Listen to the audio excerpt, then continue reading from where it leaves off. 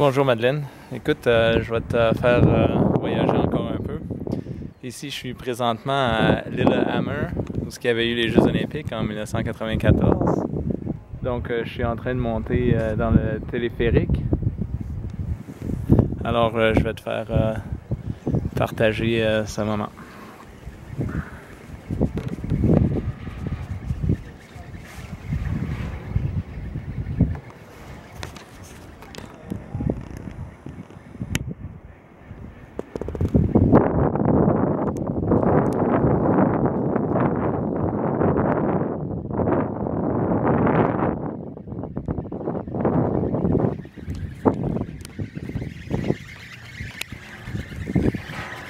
Tu nous manques tous. Je t'aime.